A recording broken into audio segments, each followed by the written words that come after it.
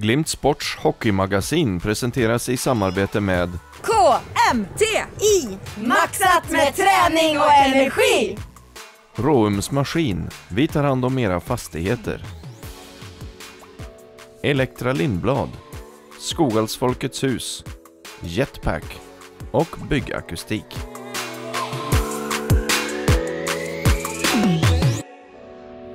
Ja, då känner ni känner er hjärtligt välkomna till KMTs Lounge och det är dags för ett eh, nytt hockeymagasin här eh, och eh, jag får två gäster, två vanliga, de vanliga gästerna brukar jag ha Thomas Fröberg, eh, välkommen. Tackar. Roger Johansson, välkommen. Tackar.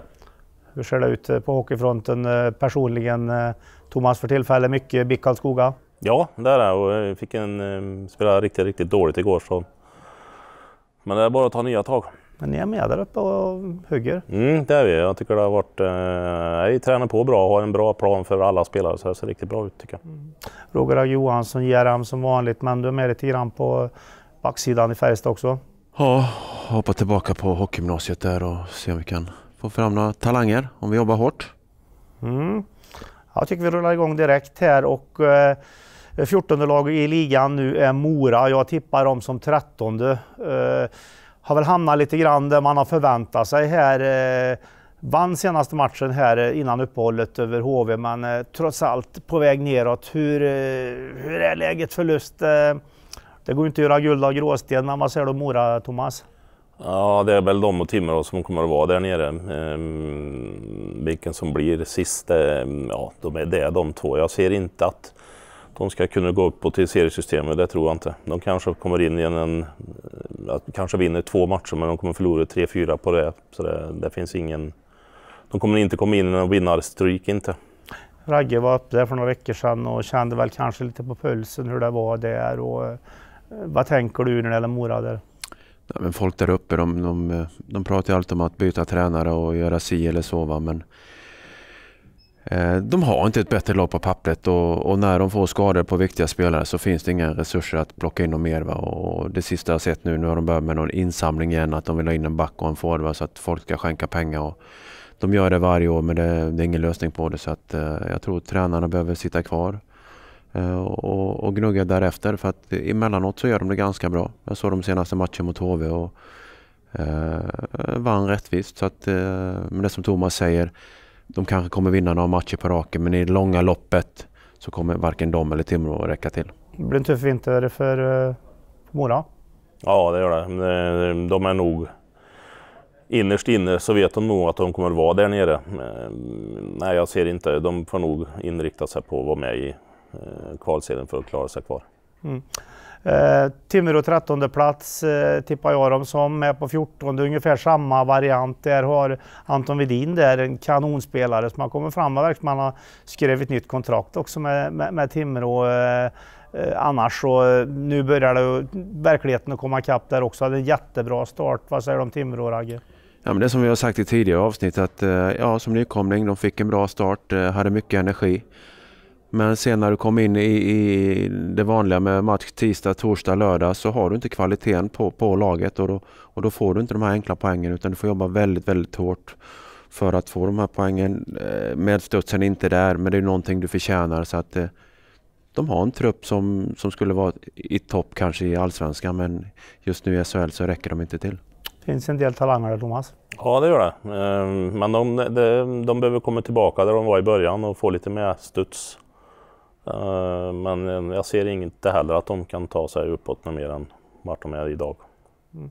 12 i ligan, Örebro, jag tippar om 12 eh, intressant lag. Det, det, sitter inte SHL i väggarna där på något sätt sen man kom upp här. Och, eh, nu försvann ju Sundblad här och det är den tredje tränaren som eh, försvinner här. Och, Eh, Niklas Eriksson som varit assisterande upp. Eh, Jörgen Jönsson, legend, in bredvid där och plockar upp en juniortränare. Vad tänker du när det gäller Örebro, Ragge? Intressant. Eh, de fick en bra start men nu föll de tillbaka.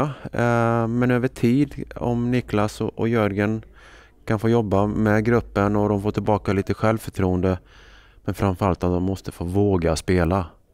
Eh, jag tror de har varit väldigt styrda utav Sundblad och eh, de har blivit hämmade av det. De har varit rädda för att göra fel. Och som hockeyspelare, är du rädd för att göra fel så eh, då vinner du inte så mycket.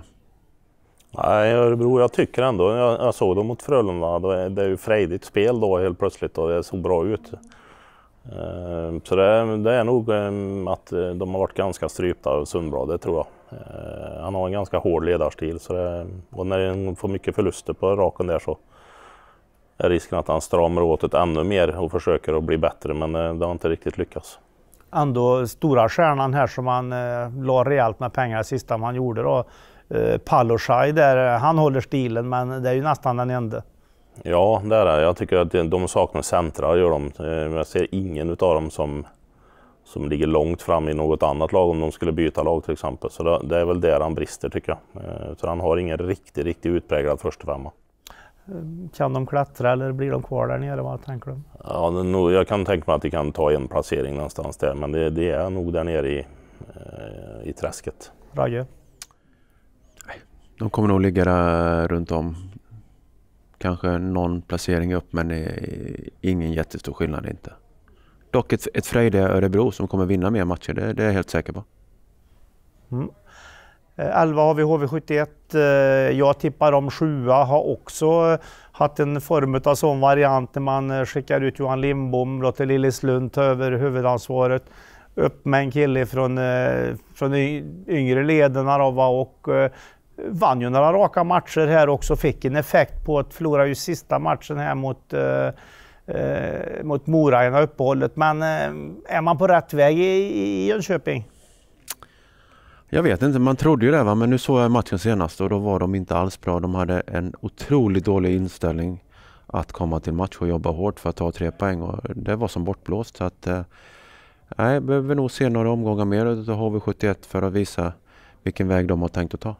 Vad säger du Tom Thomasson mm, HV? Ja, jag, jag, har ju sett dem när matcher mot Växjö och där har det ju flugit fram. De har varit helt, eh, helt otroligt bra eh, i de matcherna. Men de har höga dalar. Eller vad säger jag? Höga berg, djupa dalar. eh, tycker jag att de har. Och sen har de Törnberg skadad. Eh, som jag tror att eh, betyder grymt mycket för det laget där. Och det, han har ju varit borta under, jag vet inte, i stort sett hela säsongen. Jag vet inte vad det är för skada på honom men han betyder ju väldigt, väldigt mycket i powerplay och runt där. HV är ju en stor hockeystad här och kraven är ju stora på laget. Av sparka Lindbom, vad säger du, vad säger du om den, just den specifika, att, man, att han fick gå här nu då, en ikon här i, i, i Jönköping? Till slut är det nästan ohållbart att ha kvar en tränare för det är inte bara det finns ju fans, det finns media och det är sponsorer och alltihop det nästan kräver att han ska gå när resultatet är dåligt. Och då, då är det ju någon och då är det oftast tränaren som får gå. Eh, sen kan jag tycka att många spelare skulle prestera bättre men eh, trots allt så är det ju ändå han, även om han har tagit guld så, så är det han som får, få gå. Och det. Vad säger du där Ragge? Klart situationen är jättetuff men här någonstans så är det, det är tabellen som styr om du har jobbet kvar eller inte. Det är ju inga hemligheter. Att, de var ju uppe där också som jag sagt tidigare och vann guld här och sen så de har inte hittat stabiliteten i Jönköping? Nej, det har de inte gjort. Jag menar, du vinner med dina bästa spelare och, som har rätt karaktärer eh, både på och utanför isen. Och I år så kanske de inte har så många av den, den varan va? Och, försvinner då, och försvinner då Törnberg direkt och det inte finns någon som vill kliva in och ta den rollen så, så är det lätt att det blir. Och de har hamnat i en ond cirkel. Kommer Men, de att klättra tror du? Jag tycker ändå de har ett material att de ska kunna klättra så att eh, då säger jag de kommer klättra, ja. Ja det tror jag. De har en eh, fanatisk hemmapublik, ofta bra stöd därifrån så jag tror att de kommer att klättra. Det gör Någonstans i mittfältet kanske? Ja. Om vi går in på nästa här då så på tionde plats Skellefteå. Jag tippar dem som fyra här. Eh, kändes som att de var på väg i, i, att rulla igång detta men eh, föll av spåret igen och nu läser man från sidan här att eh, Bert Robertsson som varit där sedan 09.10 varit med på hela den här processen som eh, storhetstiden om vi säger så. Då, att, eh, man har inte pratat kontrakt med honom än. Och eh, är det så att den här storhetstiden som man har haft eh, Skellefteå att eh, det är läge att bygga om? Lite mer än vad eh, ta bort en tränare här eller där utan måste, det måste ske något mer. Så dålig insyn i Skellefteå har jag faktiskt men uh, de ska inte ligga så, så långt ner som de gör för de har ett ganska bra lag på pappret. Va? Så att uh, någonting är det som inte stämmer. Nu har ju kanske inte de tongivande Oskar Möller och Jocke Lindström varit lika bra som tidigare va? men uh, normalt sett så brukar man ha andra spelare som kliver fram då och det har de inte lyckats med. Och få ut av Edvin Hedberg och Bud Holloway och vilka det nu kan Johan vara. Matti Altonen. Ja, du har några sådana som inte har levererat så att eh, de står nog i ett vägskäl som du säger. Vad säger du Thomas? Där? Ja, jag trodde ju att de skulle få in dem i systemet, eh, Alton och de här. Men på grund av att de har så mycket duktiga hockeyspelare. Men troligtvis har de problem med de här spelarna. Att de inte ens kan anpassa sig när det finns en stark grupp där som finns från början.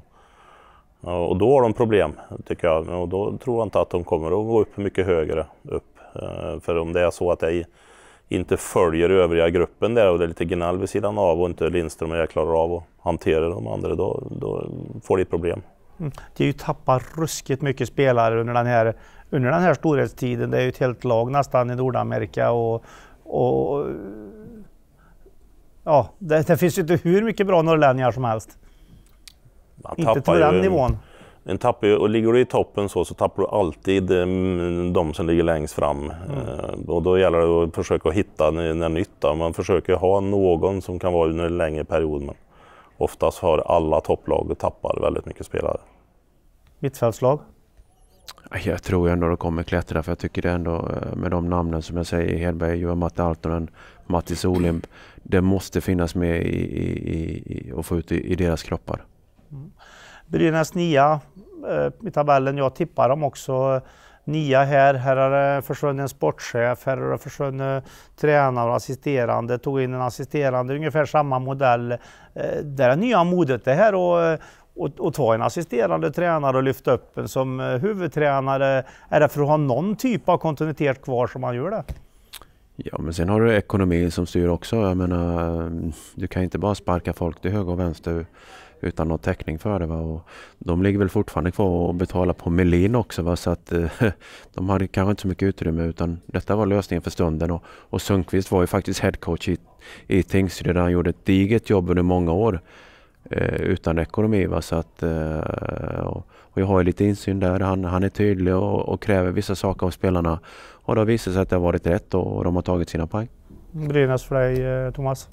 Ja, det är, det är också ett sånt där lag som, som är svårt tycker jag. Jag tycker nu har det tagit sig faktiskt sen Sundqvist kom in, eh, måste jag säga. Så det är ju, ibland är det ju så att ledarskapet kan ha varit svagt innan. Eh, Jag såg det första presskonferensen med Sundqvist. Det var en annan stil på honom. Ja, det är det. Det. Har varit lite kritik mot de som var innan, helt klart. Så det, men det blir alltid, resultatet är sämre så är det alltid kritik mot eh, tränartrojkan, så är det ju. Brynäs upp eller? eh, Det är ungefär nia där. Ja, det är väl där. Jag tycker så som serien ser ut nu tycker jag, det, är ju givetvis topplagen där som byter någon poäng hit och dit. Men det är svårt när du kommer neråt lite längre ner och, och att det kommer upp ännu högre. Jag tror att de kommer hamna där de ligger på ett ungefär. Jag tycker inte de har, och jag har sagt det tidigare, de har inget större material. eh, De har inga riktiga klassspelare så att eh, de får nog vara nöjda om de kan ligga kvar. Mm. Rögle 8, Jag tippar om 8 börjar ju, var ju i princip kändes nästan avhängda i, ifrån början här. Men har eh, har äh, eh, fortsatt att jobba och jobba. En kille som Cody Curran där som äh, jag såg någonstans att han hade varit eh, pizzerian bredvid ishallen där han spelade i Norge så var ju han bästa kund där under månadens kund fyra gånger någonting. Åker till Sverige, går ner åtta kilo och spelar nästan en halvtimme per match. Är det, eh, de har fått in något bättre luft där nere. Ja, Generellt alltså, över, över hela linjen. Samtidigt så läste du inte hela artikeln om, om veckans kund utan det var en grej de har gjort upp med, med pizzaägaren bara för att de skulle få lite liv och rörelse runt pizzerian. Men ändå, han har gått ner mycket. och han Ja, har han alla gjort. Han har gjort 30 det fantastiskt bra. Eh, för två år sedan var han i Danmark. Mm. ett år i Norge och nu lyfter han 30 minuter och han är bra. Han är fruktansvärt bra just nu och har ett självförtroende och en pump som är eh, magisk så att eh, det är bara att gratulera Rögle till ett kanonnyförvärv. Vad säger Thomas om Ja, Rögle? De är, eh, jag tror att de är ganska äckliga att möta på hemma eh, när du åker till Rögle. Jag tror det är mycket poäng tar de där. Mm, Så det, är, ja, eh, det är fortfarande, det är väl han som kan vara deras stjärna men, så här, men jag ser ingen annan som jag tycker är Sjögren givetvis nu då men eh, Sjögren kom tillbaka in och tog Mm. tag i powerplayet där och Så de, de, har, de är bra är de och de kommer att plocka poäng på hemmaplan. Det gör de. Och Brithén som egentligen inte har gjort någon glad sedan han blev lagkapten i HV för några år sedan. Och Bristedt. De har killar som eh, gör bra ifrån sig där nere. Och De är- det är okej. medvind. Det är okej hockeyspelare men de har fått in det här nu med lite flyt och de jobbar vansinnigt hårt. Sen eh, vi som har varit både spelare och, och ledare och mött Rögle på bortaplan. Eh, första tio minuterna, det går fort alltså. Det går vansinnigt fort. Så bara där kommer de döda många matcher i början. Så att, eh, nej, de kommer nog ligga kvar och de har väl ändå lite skador tror jag på någon back där. Eh, Arnelöv och någon mer. Va? Så att, eh, nej, de, eh, de kommer ligga kvar. De, Det är där runt åttonde för er två. Ja det är de. Jag tror jag kan tänka mig i ett slutspel så är det inte många som skulle vilja ha Rögle på sin lott. Det tror jag inte. Eh, Djurgården sjua, jag tippar om trea. Eh, eh, ledde ju här och, och, och såg oslagbara nästan ut ett tag. Fick Jakob Josefsson eh, skadad. Det är klart att det gör oerhört mycket. Ledaren i, i hela laget, ledaren i första linan som har fungerat bra. Och, Kanske på samma gång som man har tappat lite i form också, för det gör alla lagen någon gång under året. Och, och förlorar några matcher, har väl någon hängmatch, någon match mindre spelare och andra. Men nu börjar det bli, bli tufft för dem. Ja, och sen fick ju Engqvist ta ett, lång, ett längre break som var en, också en ledande spelare. Eh, De värvar Dick som hade ett bra förra år. Som skulle leverera, har varit mycket skadad och inte levererat. Så att, eh, Men det dock som det så har de ändå fått tillbaka va? Jonathan Davidsson och Fjällby Ja. från NHL. Va? Så att, eh, eh, jag vet inte varför det har blivit som det har blivit. Jag har inget bra svar. Det är ju sant, jag säger, det är en, en, en, alla positioner är viktiga men får du en svag, eh, får du svaga centrar så då, då, då är det tufft. Och de ska ju ändå bära en, en line framåt och får du sådana skador som de har fått på Enqvist och sen att Josefsson försvinner och sen har du även att finnen som kom till värva gick ju också sönder. Så det finns ju inte, då är vi nere i Strandberg som eh, kommer från Pantern eh, som ska gå in och bära Djurgårdens eh, och de lånar in Lundin som center. Och, och det, det, då förstår jag att det, att det går neråt, det gör jag. Eh, Sen även om du får ytterforward som är bra och sådär så är det jättetufft. Vilket avbräck. Ett helt gäng på landslagsläger här också. Landskamper och... Eh, ska man vara orolig i Djurgården? Ja, de kanske inte har självförtroende på topp när de åker iväg. Eh, det kommer vara väldigt slitna kroppar. Framförallt när det är så många spelare som är borta. Eh, gruppen som är hemma, det blir svårt eh, att ha en bra träningsvecka. kommer inte alls eh, kännas bra för varken spelare eller ledare. Så att, eh, läget är inte optimalt för Djurgårdens IF. Kommer de att stiga i tabellen tror du Thomas? Ja, kommer Josefsson tillbaka, det gör han ju givetvis, så då kommer de hitta en kemi igen och de har ett lag som går i alla väder. Eh, bara de får in en... Eh, han leder ju trots allt, eh, är ju en av Sveriges bästa hockeyspelare just för tillfället. Så det är klart att han kommer att göra så att de går bra i powerplay igen där och då, då tror jag att de blir giftiga, det gör de. Ja, de kommer stiga. Får, får de tillbaka de här killarna och eh, det är inga vanliga namn vi pratar om utan det är toppklass i Sverige så att då kommer de att stiga i tabellen. Mm. Sexa Frölunda eh, eh, för dagen. Jag tippar om eh, femma, väldigt upp och ner. Har gått som vanligt som vi säger varje gång. Ersa Lars och Lundqvist. Och, men men det är, inte, det är inte så många mer som, som fyller på riktigt där. De här bröderna Westerholm till exempel, Rexani, Genoa är kanske inte heller på topp. Eh, han blir lite tråkig Rönnberg efter alla år där nere. Ja, det, det händer liksom inget och det är inga som... Eh, den enda som har utvecklats ordentligt i år tycker jag det är Samuel Fagemo som nu ska spela junior-VM som har tagit ordentliga kliv. va, Men, men annars så är det ganska eh, mulet om jag får uttrycka mig tråkigt men eh, det, nej, det är något, är inte riktigt så att det spritter i, i, i deras kroppar utan de gör någon bra match här och där va, men sen däremellan så är det ganska tråkigt. Vad säger Thomas? Ja, jag tror att de kommer att eh, åka ner. Eh, Det fin- de är för bra de som ligger efter där. Så jag kan inte heller se att Frölunda är powerplay, som de, men där har det gått tungt på slutet. Men eh, jag har sett de där matcherna nu jag tycker inte att det finns den kvaliteten i så det ligger högre upp. Ändå så har man ju plockat in såna här, återigen såna här yngre spelare som man ska vara ett transitlag på vägen till, till NHL. Men det händer ingenting Nej, den här riktigt. gången tycker jag inte att han har lyckats. Eh, Han sitter ju på bänk. Eh, Nu är han från Skellefteå. Mm, Tim Eh, Söderlund. Ja, och han spelar ju inte mycket och det är klart att han har ju gått dit för att han skulle ta ett kliv, jättekliv i sin karriär. Och, eh, sitter idag på bänk, så det är ju inte det optimala givetvis. Och det är ju inte positivt för Frölunda att inte få en kick på en sån. Du känner att Frölunda är lite grann på väg neråt. Ja, det gör jag. Ragge? Jag är beredd att hålla med, ja. Plus att målvaktsspelet är inte hundraprocentigt. och, Eh, med en bra målvakt då kan du vinna de där matcherna. Men det gör inte Frölunda, tyvärr. Eh, femma Växjö. Eh, jag tippar dem etta där. Eh, till skillnad om vi säger mot till exempel Skellefteå här som man trodde skulle börja stiga så är ju ändå Växjö, de tar de här stegen hela tiden uppåt här och är uppe på en femteplats. Otur där med Pesonen skada men eh, eh, vi väntar fortfarande på att de ska fylla på med några till så att eh, de kommer vara där uppe tror jag. Vad säger du Thomas som var Ja. grabben din andra, som andra center kan vi säga där. Jag följer dem ju varje match och jag, jag mm, hör ju lite grann runt omkring. Och det, det är ju så att i, idag så mm, KHL-spelarna kommer ju, mm, en del bryts ju avtalen med i december här, som inte får vara kvar för att inte ha presterat. Och mm, jag är ganska övertygad om att det kommer att komma in och det vet hela Sverige om att det kommer att komma in i Växjö. Sen om det höjer laget, för det är ofta så att det blir en att det rotar om lite grann i Hierarkin. Ja, och det, det, men eh, han har lyckats med det förut. Eh, Så eh, eh, jag tycker att de, de, har, de har kommit igång och spelat mycket, mycket bättre ishockey. Sen tycker jag inte att det var bra mot Frölunda, men jag tycker att ändå att de har blivit bättre. Lugnt och tryggt är det där. Eh, Så det, de kommer ligga i toppen, det gör de. Ragge? Ja, helt övertygad. Och, ehm, de har lyckats plocka in bra spelare förut och det finns ingen anledning att, att tro att de inte kommer göra det igen. Kanske blir ännu bättre den här gången va, så att eh, de blir ju livsfarliga.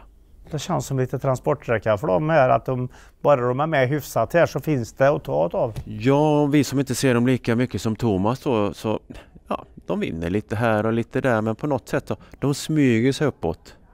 Inga stora rubriker direkt, eh, inget flashigt utan man kommer och sen slår de kanske in matchbollen i vår, vem vet? Det är på väg uppåt. Ja. Ja, det är de. Ja. Fjärde plats eh, Linköping. Jag tippar om tia. Eh, eh, hade mycket matcher i början, mycket hemmamatcher. Kom in i en jätteformsvacka. Men, och jag har ju inte trott på Tommy Jonsson här heller så det är jättemycket. Men har vänt tillbaka det här nu och lyckats vinna hockeymatcher på slutet här. Och det är ju några av de utländska killarna där. Derek Roy och Whitney som, som kanske är längst fram då i, i det här. Lukas Bengtsson som back och Ja, de, de kommer tillbaka igen. Ja, det gör de.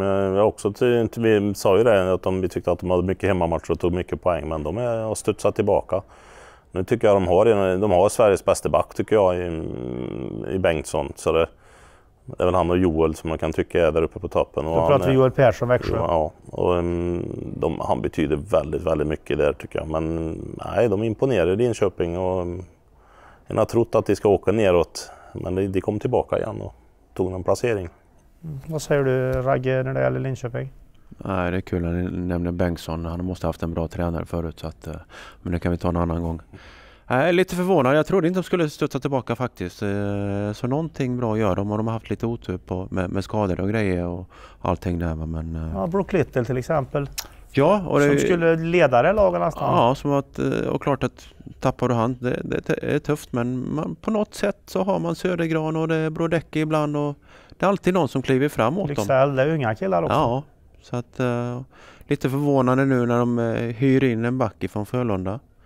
Eh, när man har ett Sveriges bästa juniorlag. Men hur de tänker vet jag men de gör det ganska bra. Om du ser på dagen, eh, vart tar det vägen med Linköping tror du Ragge? Eh, Jag, jag tror att eh, är de kvar där de ligger får de vara nöjda. Ja, topp 6 tror jag. Mm. Trea Malmö, jag tippar om 11, det är ju årets sensation. Eh, var ju på väg lite grann här och tappa formen och förlora en hel del matcher men eh, fick tag i det igen eh, på något sätt. Han är bra där nere Peter och eh, det är alla för en på något sätt där och det, det kommer de att leva på länge den här säsongen. Ja, det, och då ska vi komma ihåg att de spelar Champions Hockey League också och haft otroligt mycket skador. Men har fått låna spelare från Panten och det är Arboga och gud vet allt. Så att Eh, Sylvegård gör ett, ett väldigt bra jobb tillsammans med Peter där nere för att hitta rätt karaktärer på spelare som kommer in och gör det här digna jobbet varje kväll. Och ibland så tror man att, äh, nu eh, som sist, att Örebro i, med nya tränare kommer köra över Malmö, ett slitet Malmö. Men de studsar tillbaka och vinner med 3-1 så att, eh, det är imponerande så här långt. Malmö för dig, Thomas? Nej, imponerande. De till och med bänkar ju en del eller skickar upp dem på läktaren för det är överflöd på forward. Så, eh, och han bryr sig inte vilken det är utan han tar den som han tycker har gjort sämst jobb. Så det... Och det är intressant. Det är Götz, det är Storm, Mm. det är Hetta. Det spelar liksom ingen roll vilket nummer eller vad du har, vad du har för, för namn på ryggen utan eh, de kräver ett jobb och gör du inte det så sitter du där. Det är två stycken som har varit med här tidigare. Du har väl tränat dem bägge två, Olofsson och Ja. Johan Olofsson och Forsberg där som eh, framförallt Olofsson, han gör ju en del mål också. Ja, det gör han. eh, Och han har ju fått förtroende där nere. Det är ju oftast... Kul att se bra drag i skridskoåkningen. Ja, det har han. Och mm, han, han sätter puckar ofta när han kommer in. Från, han, bryter, han är inte rädd för att bryta in. Så det, jag skulle vilja ha sett den in i Karlstad, helt klart. Foppa är ju mm, mer en, en arbetare som kommer... Han gör aldrig ett dåligt byte.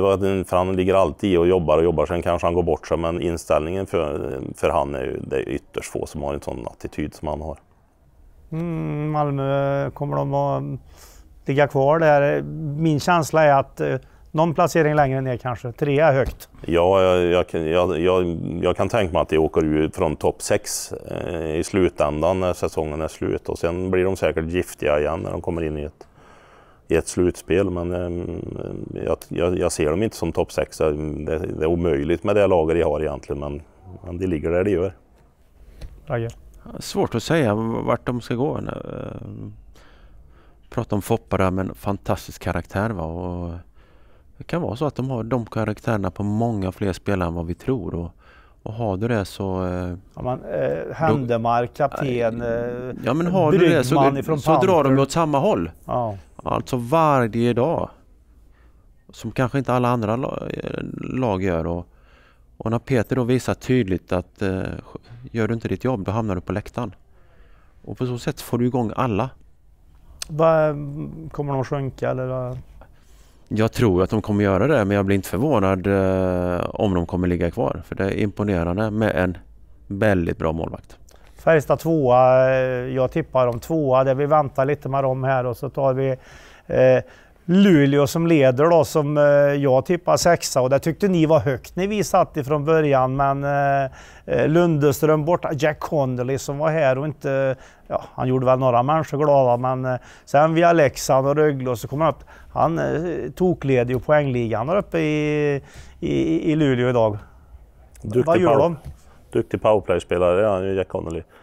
Eh, Det är ju Bulan alltihop tycker jag som har fått ett lag att gå mm, enligt hans träningsfilosofi. Så, mm, jag, nej, jag är djupt imponerad av han. Som, det syns på engagemang i bås hur han lever sig in i det. Och jag tror inte att du, du tar en dag ledig där i, i din skalle när du är på träning där. Utan han, han driver nog ganska hårt, det tror jag. Mycket imponerande och det är inte bara att de försvarar sig utan jag tycker de har härliga lösningar. Jag menar senast i Karlstad de förlorade med 1-0 men skapar otroligt mycket bra chanser på, på ett finurligt sätt och, och vågar hålla i pucken och eh, han gör det väldigt, väldigt bra. Sen är det Bulan. Köper du inte Bulans idéer så då spelar du inte. Eh, Lassinantti, bra målvakt. Eh, har du Unge Sellgren, men Erik Gustafsson där som han värvade också, det är ju absolut toppklass. Forwardsidan tycker jag, där överraskar det väl. eh, Nej, de har överraskat. eh, eh, Vart tar det vägen med det här? Eh, Vi börjar med dig Thomas. Kvart, de kommer att ligga med i toppen, det gör de. Eh, Sen kan jag, kan jag tänka De får mig- aldrig ta ledigt för Bulan. Nej, det får de inte, men sen kanske det blir kvartsfinal. Sen tror jag att det är över. Ja, svårt att säga. Jag vet ju inte hur ser ekonomin ut. Eh, har de en plan att de ska värva in någonting för att eh, få riktiga toppspelare till, det, till den gruppen? Jag vet inte men eh, så här långt gör de det väldigt, väldigt bra och vad det ska sluta, inte en aning. Återigen, de är också en bra målvakt och har du det med, med det självförtroende de visar framåt så ska det räcka långt. Mm. Då går vi på Färjestad då. Jag tippar de tvåa och då, då, då, då ja, jag bara osäker på laget och är tvåa idag då och eh, med och slåss där uppe. Eh, eh 21 poäng av 27 möjliga. Nu har man på den sista nio och då, då ska vi ha med det att halva laget har varit skadat också. Eh, framförallt de sista matcherna. Man vinner 2-1-0 matcher där. Där märks det ju, det är en sån som Mikael Wikstrand inte är med, att vad mycket tid han bär. Han skulle säkert ha kunnat spela en halvtimme bägge de här matcherna. Eh, det är nog den spelaren som man inte kan vara utan här, men jättebra utav hela gänget här som, eh, ja, de har fått ihop det. Thomas? Ja, nej, de är jättebra. Sen att dina skador, det har alla lag. Sen gäller det att du jag ska inte säga så, du får, att du ska få en skada på en eh, spelare som ligger väldigt, väldigt långt fram. Ehm, och då påverkas laget på ett helt annat sätt än att den bara får en massa skador. Men givetvis påverkar skador. Men, men trupperna är stora eh, idag, men Färjestad har gjort ett grymt bra trots de skador de har haft. Men, så det, men de ledande spelarna har fortfarande varit kvar. Ja, dels skador men också då lite avstängningar på, på eh, spelare som hade toppform. Eh, tänkte på Rydahl. Mm. Eh, levererade väldigt bra. I våran Ryno var på väg in hit när han får sina matcher. Yes, vi pratade om Sten att han kommer lyfta. Ja, då blir han avstängd fem matcher. Eh, plus alla de här skadorna. Men eh, man har hittat rätt. Eh, målvaktsspelet är ju fantastiskt bra alltså. Det är, eh, det är väldigt imponerande. Så spelar man ett enkelt spel när man har mycket skador. Man, man krånglar inte till det för ofta. Jag tror senast i Linköping, man täcker 28 skott på hela matchen. Imponerande. Eh, du har spelare som spelar med frakturer. Eh, sista matchen innan jul. Det gör du också om du är omtyckt och gillar gruppen och, du ger och tar så att Nej, de har någonting bra på gång. Mm, vi går igenom målvaktssidan, Marcus Svensson naturligtvis. Eh, eh, det var ett tag sedan Färjestad hade en sån här målvakt i den här, eh, det är några år sedan nu, det var väl Sallak den senaste, men när vi tittar bakåt så finns det, det är ju en målvakt som det går att vinna med det här och Werner då, perfekt komplement till honom. Målvaktssidan ser bra ut. Svensson har varit enormt bra. Det är ju ändå resultat efteråt när du får tre poäng som du tittar på. Han har tung trafik på sig men han står pall och mm, hållit nollan två matcher på raken. Och det, mm, nej, han har varit fantastisk. Han störde matcher utav motståndarna, han har gjort stördepoäng. Ja, han ingår, han, han ingår ändå i, i laget. Mm. Han säger oftast att det, den här matchen var målvakten, men den ska inte ta bort för han ingår i laget och laget som står framför har gjort något bra för att han ska kunna hålla nollan givetvis. Det känns det bra. Ja, ja det, det är topp så att uh, nej, det är ett jättebra nyförvärv. Mm backsidan här då, nu har det varit mycket skador här så att eh, vi såg på Virtanen och Westin framförallt här, eh, torsdagsmatchen till exempel mot Luleå. De, de åker med tungan långt ner. Eh, eh, Westin slår ju personligt rekord i istid på en match och det gjorde väl, eh, det har ju Virtanen också gjort på slutet här, att där har det varit lite tunt men där kände, där, där är ju Wikstrand som tätar de här luckorna. Får, får ett annat lugn i laget så att han, men, men eh, och Sebastian Eriksson borta, men kanske skulle behöva någon, någon mer back. Ja, det är det säkert och det beror på hur, hur långvariga skadorna är. Va? Om man eh, tittar på något kortsiktigt eller långsiktigt, det, det vet jag inte. Men eh, du vill ju helst ha så många som möjligt. Och nu är ju flera av spelarna, i stort sett alla backar, har varit, haft någon skavanker eller sjukdomar. Va? Så att, eh, ja, lite oroväckande är det ibland. Va? Och eh, är det någon som inte får bli skadad för länge så är det Wikstrand. Vad säger du om backsidan? Och så? Mm, ja, och jag skulle vilja kanske ha in mer eh, att jag kunnat spela någon junior mer än vad jag har gjort tycker jag på backsidan. Forwardsidan så har juniorer fått gå in och någon spela. Någon back som kan växa in i det kanske? Ja, det tycker jag. Ehm, och forwardsidan har de, har de ju gjort så på tycker jag. Men backsidan tycker jag inte att de har gjort på det sättet som de har gjort på forwardsidan. Okej, forwardsidan då, det är ju Ryno som, som har tagit tillbaka första rollen tycker jag eh, i laget. Eh, har Lindqvist bredvid sig nu. Det som varit, kanske varit lite tufft att ha tredjelänken där då. Martin Johansson har ju prövat lite grann här nu men eh, vad ska man, ska man fortsätta att köra den, de tre tycker ni? Jag tror man kommer testa sig fram. Det, är det enda jag vet är när alla är friska och hela att man spelar Sten med, med Zetterlund och Rydahl. Det tycker jag har varit en riktig succé och ger energi och avgör matcher eh, både här och där. Va? Så att det har varit en fröjd. Mm. Vad säger du första eh, Ryno Lindqvist där, eh, Lindqvist det syns ju, det är ju också jätteklass och tillsammans då med Linus eh, och eh, ja, Olofsson, ja, vår första kedja Nygård. Det är ju två superfemmor. Ja, nej, den, forwardsidan ser riktigt bra ut tycker jag. Eh, det enda jag kan tycka det är om de ska gå långt i ett slutspel och vinna hockeymatcher så kan det bli mer matchning mot slutet. Där du då kanske är tvungen att ha en, en ren def-femma, en defensiv femma. Uh, och den kanske jag inte riktigt ser vilka han skulle ta plocka ut för att och, och döda tid på ett annat sätt. Uh, vi är ett väldigt, väldigt offensivt lag i Färjestad. Uh, men jag, skulle, jag saknar en, en, en line som kan plocka bort motståndarens bästa femma. Mm.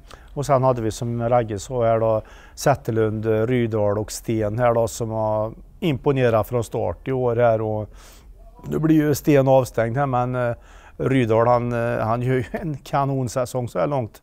Ja, Rydahl har tagit jättekliv. Och, och, och får, får spela viktiga lägen också nu. Mm, nej, han har varit riktigt bra. Och, mm, vi skrev ett kontrakt med honom i rätt läge med, innan han mm, blev alltför, lite för dyr. Ja. Så det, nej, bra jobbat Jakobsson där.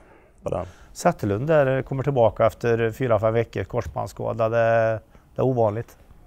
Det kan vara karriären på en del. Ja det kan det vara. Men, men han var, är ju så fruktansvärt stark i, i, i benen. Så att, eh, hade det varit en vanlig spelare så kanske det hade varit slut eller en väldigt lång rehab. Men eh, tack och lov, det var på den spelaren som är så pass bra tränad och då gick det bra den här gången. Så att, eh, Eh, gjort det jättebra och kommer givetvis eh, lyfta och eh, nu med ett JV med lite matcher, få upp farten, kommer tillbaka till, till Sverige i januari igen och, och kommer leverera, jag är helt övertygad om. Mm. Färjestad, Färjestad kommer med där uppe? Ja, det är de.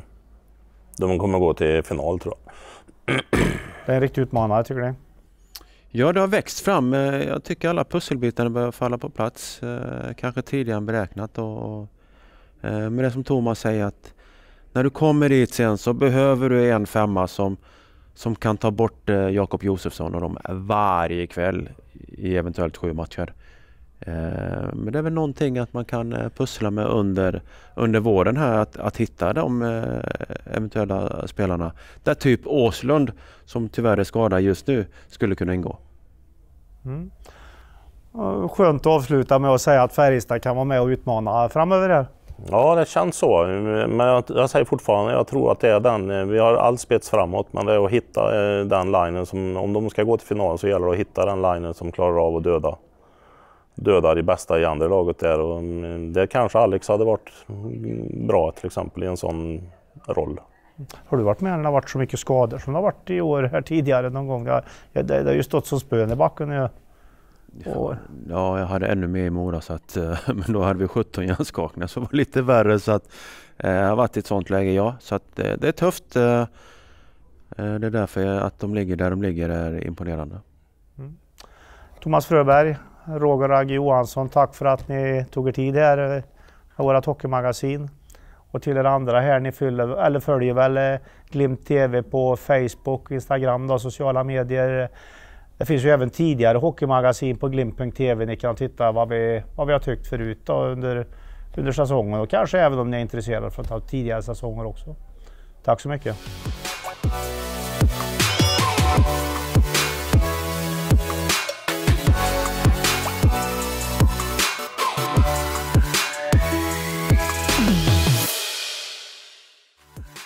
Glimt Sports hockeymagasin presenteras i samarbete med KMTI Maxat med träning och energi!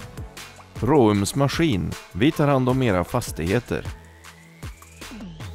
Elektra Lindblad, Skogalsfolkets hus, Jetpack och Byggakustik.